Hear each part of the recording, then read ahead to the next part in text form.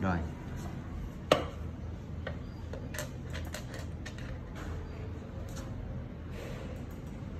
Nhấc cái đầu nó lên nhấc cái đầu nó lên. Nó chạy.